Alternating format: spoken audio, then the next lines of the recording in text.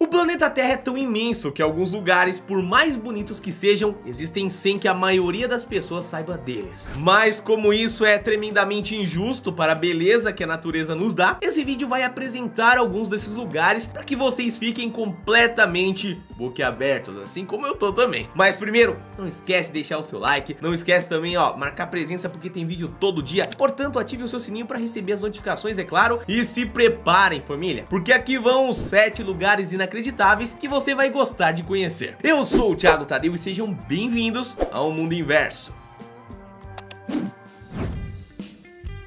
Solar de Uyuni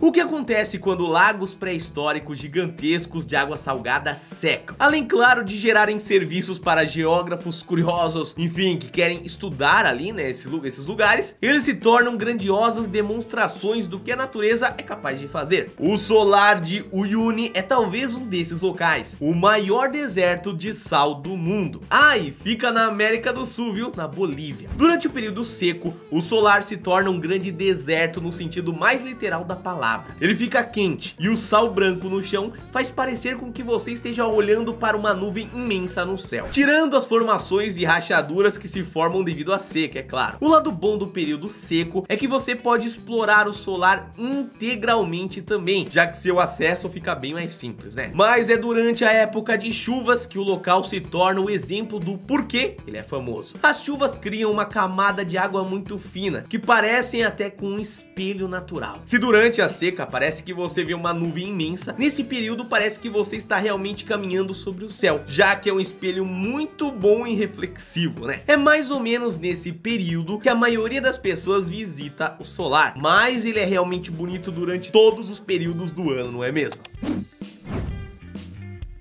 Poço de Thor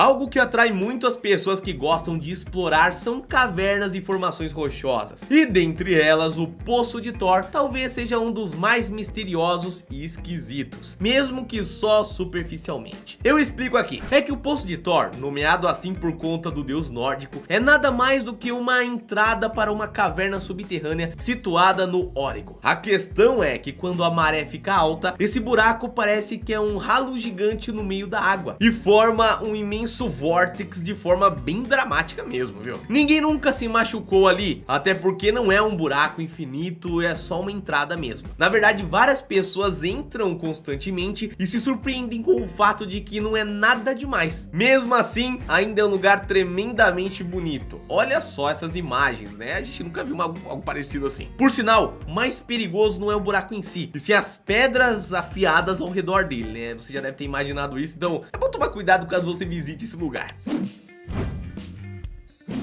Baikal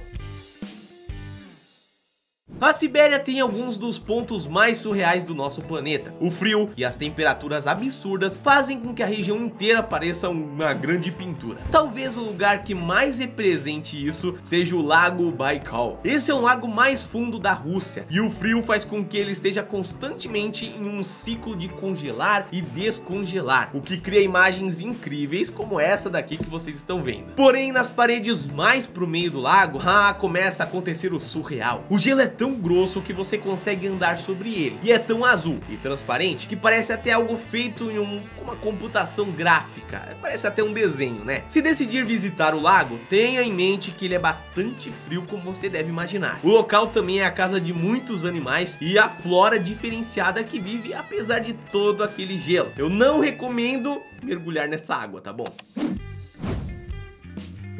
Ilha Socotra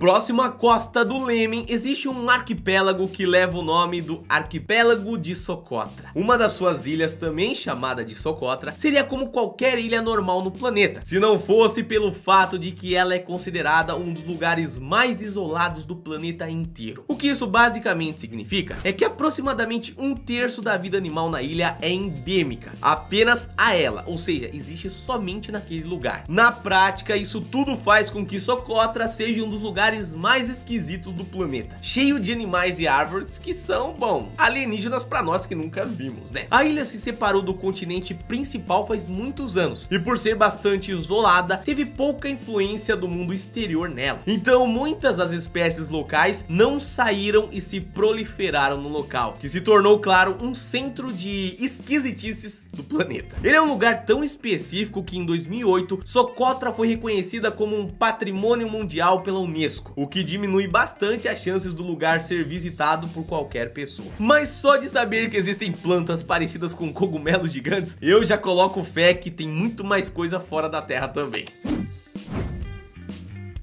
Praia Vermelha